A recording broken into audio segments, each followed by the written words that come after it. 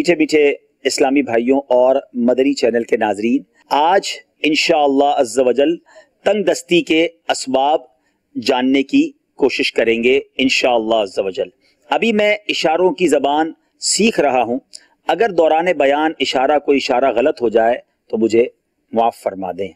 پیارے اسلامی بھائیوں، ذرا غور کریں کہ بہت سے ایسے لوگ ہیں جو بہت پریشان ہیں۔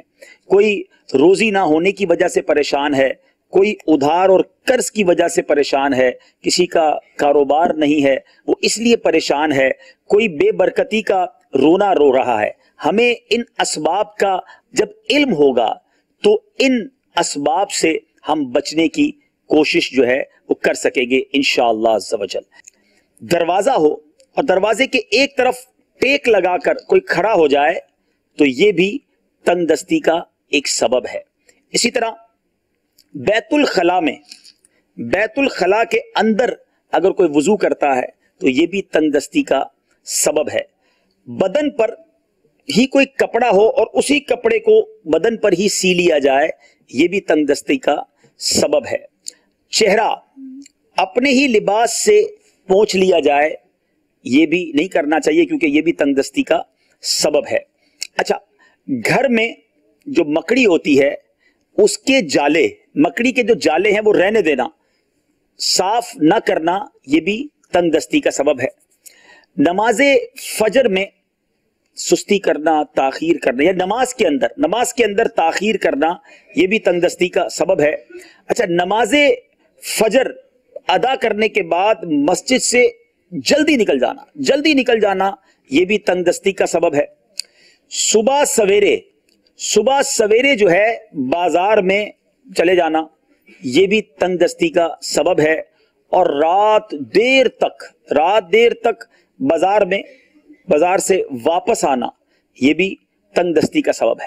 اچھا اپنی اولاد کو بد دعا دینا، اپنی اولاد کو بد دعا دینا، یہ بھی تنگ دستی کا سبب ہے۔ بہت سی عورتیں جو ہیں، وہ اپنی اولاد کو بد دعائیں دیتی ہیں اور پھر تنگ دستی کا رونا بھی روتی ہیں۔ تو یاد رہے کہ اپنی اولاد کو بد دعا نہیں دینی چاہیے، ٹھیک ہے؟ اچھا پھر گناہ کرنا، خصوصاً جھوٹ بولنا، یہ بھی تنگ دستی کا سبب ہے۔ اچھا چراغ کو پھوک مار کر بجھا دینا، یہ بھی تنگ دستی کا سبب ہے۔ کنگی جو ہے، وہ ٹوٹی ہوئی کنگی کو استعمال کرنا یہ بھی تنگ دستی کا سبب ہے۔ اپنے ماں اور باپ کے لیے دعا نہ کرنا، اپنے ماں باپ کے لیے دعا نہ کرنا یہ بھی تنگ دستی کا سبب ہے۔ اچھا امامہ شریف بیٹھ کر باندھنا یہ بھی تنگ دستی کا سبب ہے۔ یاد رہے کہ امامہ جو ہے وہ کھڑے ہو کر باندھنا چاہیے، یہ سنت ہے۔ اچھا پھر علماء علماء فرماتے ہیں، علماء فرماتے ہیں کہ ناخنوں کا بڑا ہونا، ناخنوں کا بڑا ہونا یہ بھی تنگ دستی کا سبب ہے۔